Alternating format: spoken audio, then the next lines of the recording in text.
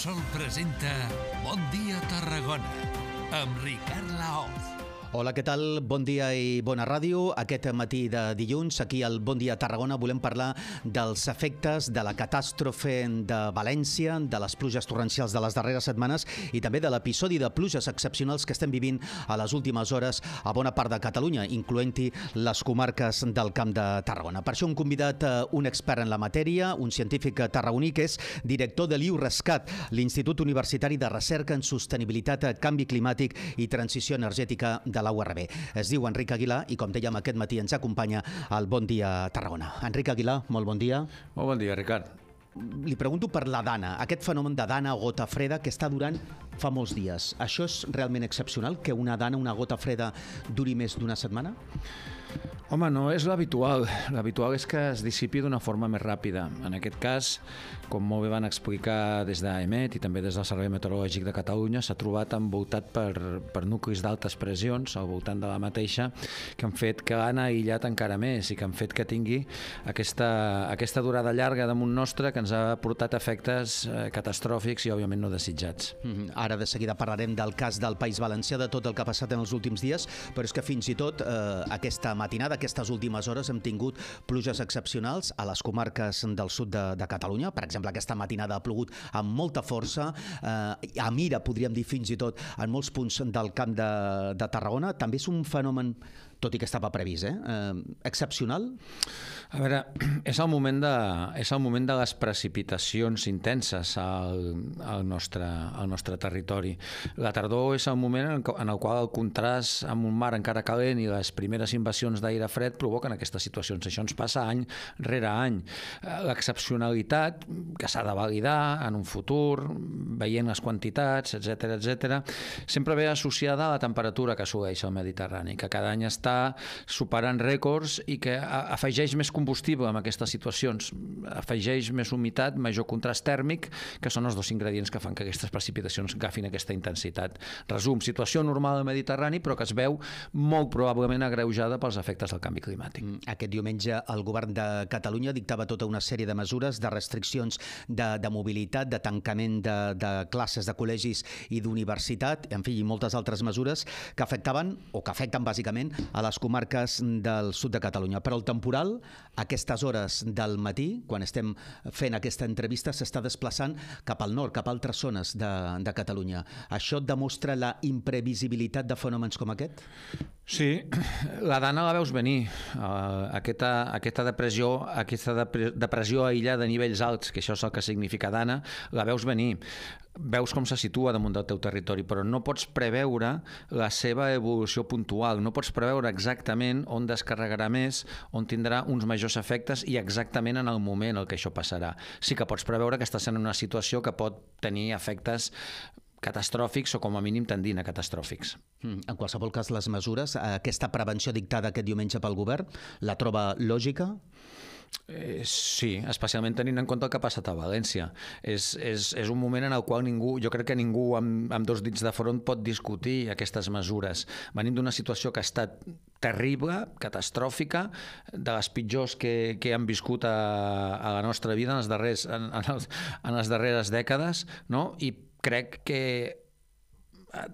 que era molt adient dictar aquestes mesures. La, la difícil serà la propera, perquè aquestes situacions es van repetint.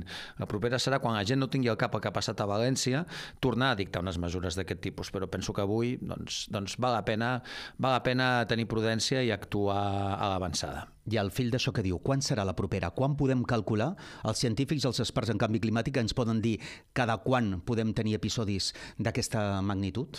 No, això és molt difícil de, de calcular. El que sí que podem dir és que per les característiques del clima mediterrani això passa gairebé cada any en un punt o en un altre. El que no sabem és quan se'n situarà al damunt nostre, quan es produirà una situació que s'estanqui damunt nostre i que ens produeixi efectes negatius just damunt del nostre territori. Quan tornarà a haver una altra dana? Aviat, aviat. El que probablement, i sempre el probablement és molt interessant afegir-lo, d'efectes més lleugers que aquesta. Amb el temps doncs, es aniran repetint aquests fenòmens, òbviament. Mm uh, per les dades que coneixem, ja anem al cas de, de València, per les dades que coneixem del que va passar dimarts 29, dimarts de la setmana passada a les comarques uh, valencianes, com, com es pot qualificar també aquest episodi uh, amb quantitats de 400, 500 i 600 litres per metre quadrat en determinades zones? Estem fregant rècords, eh? Estem fregant rècords de precipitació. Uh, la dana, si tu, si tu la veies als models, era de llibre. Eh? Era d'aquella que pots fer servir per il·lustrar que és una dana. Era ben rodoneta, centrada damunt del, del sud de la península ibèrica. Va aportar unes quantitats de precipitació molt elevades, jo diria que no, no a tot arreu de rècord, en alguns punts sí, però en qualsevol cas molt elevades. Amb això li sumes els efectes geogràfics. No ens oblidem que hi ha localitats que es diuen torrent. Això ja te diu molt, molt a les clares on estan situades aquestes localitats. Aquesta precipitació descarrega en poblacions que estan situades molt a prop de rambles, molt a prop de torrents. Llavors, doncs, aquí s'ajunten una sèrie de factors, una precipitació molt intensa i un, unes característiques geogràfiques del terreny que no ajuden pas a que l'aigua evacui sense afectar la població. De fet, s'ha repetit per activa i per passiva que la ciutat de València se salva perquè en el seu moment, després de la, de la riuada del 57, es va desviar el Túria. Això ha, ha salvat el centre de la ciutat, la ciutat vella de València, ha salvat de tenir uns efectes que haguessin estat molt més catastròfics del que han estat a la ciutat. Eh? Mm. Aleshores, al fill precisament d'això que diu, el desviament del riu, d'aquest Túria, fa dècades, això ha provocat potser més danys encara en la zona sud, en l'horta sud de València? Això s'haurà d'estudiar, eh, s'haurà d'estudiar, és possible. Eh? És possible que, evidentment, l'aigua té que sortir per algun lloc, però eh, l'aigua té tendència, i d'això, de fet, això ha sortit en, en moltes entrevistes que han fet a gent, que han, han fet a gent de, de la zona de València, han dit és que l'aigua ha passat per l'antic barranc de... L'aigua té tendència a passar per on ha passat tota la vida, és una qüestió de desnivell. Eh? Una obra d'enginyeria ben feta, òbviament, el que fa és, és és desviar els efectes d'aquesta precipitació. En aquest cas està clar que, la, que el centre de València s'ha, entre cometes, salvat per aquella obra que es va fer en aquest moment. Que, que l'aigua ha anat a un altre lloc també és evident. Mm -hmm. Tot això que està passant els darrers dies i que ha estat catastròfic, especialment a les comarques del País Valencià i que també doncs, eh, ens està afectant de retruc a, a Catalunya, eh, això, mm, i ho dic perquè clar, hi ha molta gent que, que no s'ho creu, això és efecte del canvi climàtic? És, està clar? Ho tenen clar vostès? Hasta cert punt. I per què t'he dit hasta cert punt? Perquè aquestes situacions meteorològiques són habituals al Mediterrani, en canvi climàtic o sense. Aquestes situacions el que requereixen és contrast tèrmic, el contrast tèrmic te'l dona l'entrada d'aire fred que es produeix en alçada, però també te'l dona el mar. El mar està molt més calent. Això sí que s'afecta del canvi climàtic, que el mar estigui molt més calent. Per tant, que el mar estigui més calent, el que fa és potencialment intensificar els efectes d'aquestes situacions. A partir d'aquí s'ha de fer el que es denomina un estudi d'atribució. Un estudi d'atribució significa executar models per veure com hagués estat aquesta situació amb un mar més fred i veure si estadísticament podem dir sí, això, sense el canvi climàtic, això no hagués tingut aquestes conseqüències. De totes formes, com a mínim a nivell conceptual, a nivell teòric, amb tota seguretat, amb tota seguretat hi ha un efecte no de produir, però sí d'incrementar la intensitat. Mm -hmm. Com valora, senyor Aguilar, la, la previsió de l'emergència i la gestió posterior de la, de la catàstrofe que estem vivint? Bueno, ara és quan s'ha de ser molt políticament correcte. Jo començaré per lo més positiu. El més positiu és que crec que, que la gent d'EMET ha fet molt bé la seva feina. AEMET la és l'Agència Estatal de Meteorologia. de Meteorologia. Ha fet molt bé la seva feina perquè va veure que venia aquesta situació. Òbviament, com he dit abans i com estem veient avui, el Servei Meteorològic de Catalunya també ha fet bé la seva feina aquests, aquest cap de setmana es veu que hi ha una situació d'alerta, es veu que hi ha una situació d'alerta màxima, se llancen les alertes quan correspon i a partir d'aquí passa amb una cadena de gestió. La gestió penso que és evident que ha estat manifestament millorable i no sé com, no sé, mira, ara se m'acudeix una cosa. Jo tota la vida que tinc carnet del nàstic, eh? això no me capacita per dirigir el nàstic. Tenir tota la vida carnet d'un partit no et capacita per dirigir un país. I crec que això és el que ens està passant. Uh -huh. uh, L'emergència o la situació de pluges tan torrencials que van caure a València haurien provocat segurament molts danys materials, però molts menys danys personals amb una gestió més correcta? És difícil, eh? eh en, Sí, evidentment amb una gestió més correcta s'haguessin pogut evitar danys materials i personals, però també ens hem de posar en la situació. A la gent no li agrada que li llancin alertes. De, això també ho hem de, ho hem de valorar. Eh? A la gent no li agrada que, que li llancin alertes. No tots, els, no tots els models que fa servir l'Agència Estatal de Meteorologia no tots els, no tots els models que, es fa, que fa servir el Servei Meteorològic de Catalunya, ni per la situació de València ni per la d'avui a Tarragona, donaven que seria una precipitació extrema. Eh? Alguns te donen que serà una precipitació normal, perquè això ho estic donant per assumit perquè és una cosa que nosaltres ho tenim molt interioritzada, no fa servir només una execució de models, se'n fan servir diverses. Eh? Per què? Justament per lluitar contra la incertesa dels models. Doncs, a vegades, tu tens una previsió que són 51 previsions i n'hi han 5, 6, 7 que te diuen això serà catastròfic i les altres no, no, no t'ho donen. No? Què hem de fer? Cada vegada que un percentatge dels models ens diguin que la situació pot ser potencialment catastròfica, alertar. Si fem això, ens estarem curant en salut. Eh? Amb tota seguretat, si fem això, podrem evitar situacions com les que s'han produït o com a mínim podrem mitigar-les. Ara, a la tercera, quarta, cinquena, sisena vegada que l'alarma es llanci sense que passi res, la gent tampoc li agradarà. La gent també se't tirarà al damunt. En resum, és molt difícil, jo per això sempre dic que per això prefereixo ser climatòleg que polític, eh?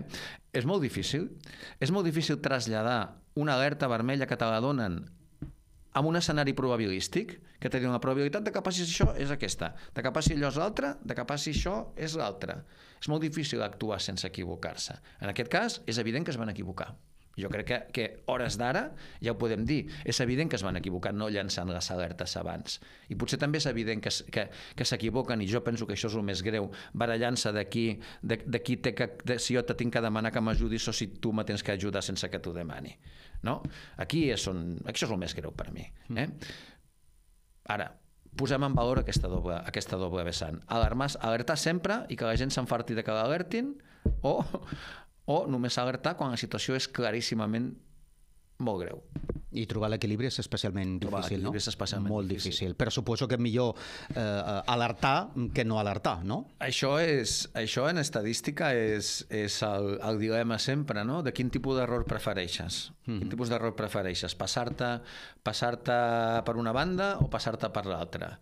Quan se juguen vides humanes, si tu veus, ho penses fredament, dius, no, no, a la mínima que hi hagi un indici de perill, no? a la mínima que hi hagi un indici de perill, alertem. No? Clar, ho torno a repetir, ho he dit abans, en quan, en quan si és que si ara, si ara miréssim, si miréssim les prediccions dels, dels propers dies, estic segur que en, el, en algun punt d'Espanya hi ha algun model que diu que la situació pot ser d'alerta vermella.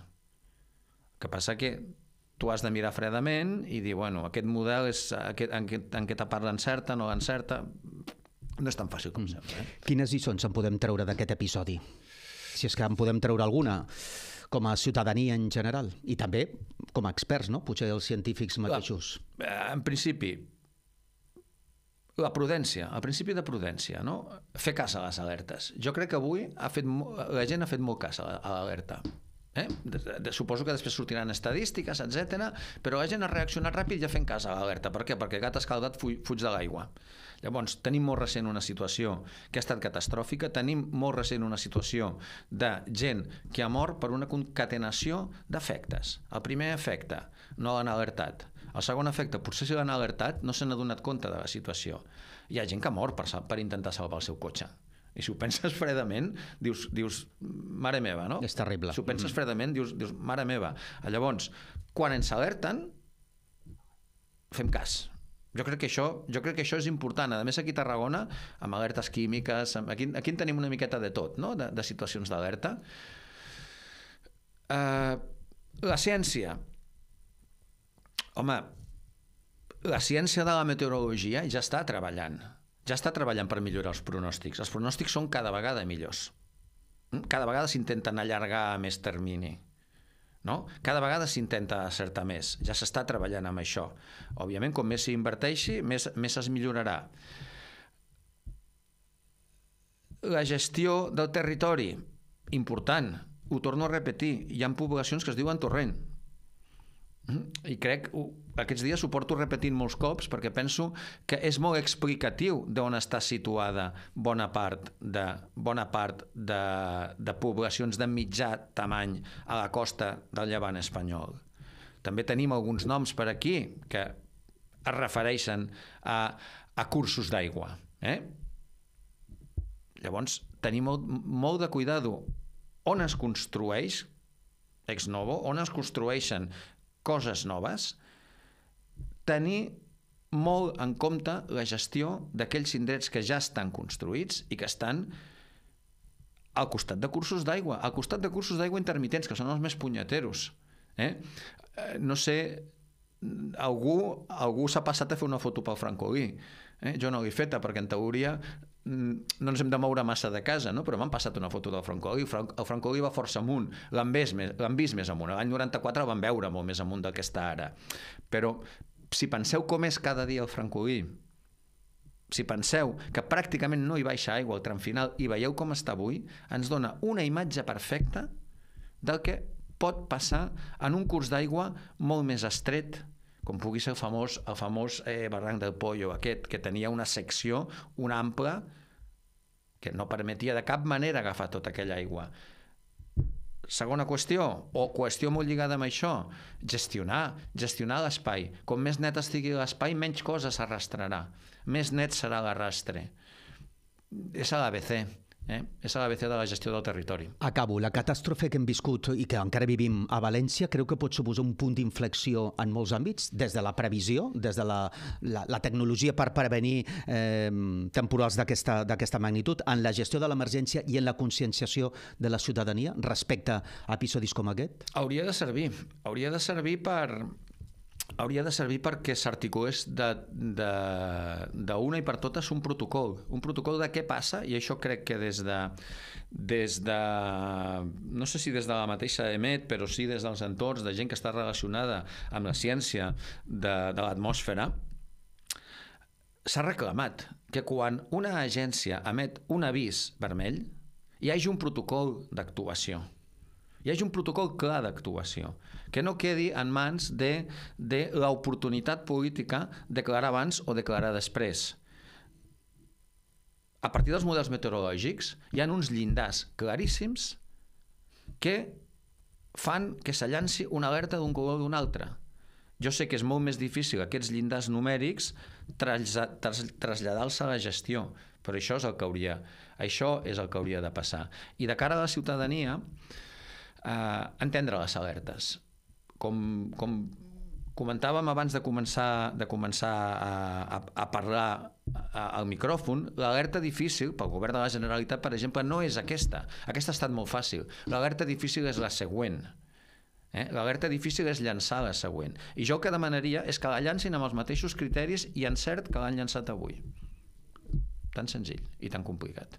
Tan senzill i tan complicat alhora. Doncs amb aquesta reflexió ens quedem eh, enmig d'aquest eh, temporal, d'aquesta dana, d'aquesta gota freda que ja fa dies que, que afecta aquesta part del Mediterrani, que en fi ha deixat conseqüències catastròfiques, com tots sabeu, eh, en algunes comarques del País Valencià. Avui hem fet eh, i hem compartit aquestes reflexions amb un expert, amb un tarragoní eh, expert en canvi climàtic, és el director de l'Institut Universitari de Recerca en Sostenibilitat, Canvi Climàtic i Transició Energètica de la URB. És Enric Aguilar, que ens ha acompanyat aquest matí al Bon Dia Tarragona. Enric Aguilar, moltes gràcies per les teves reflexions i fins aviat.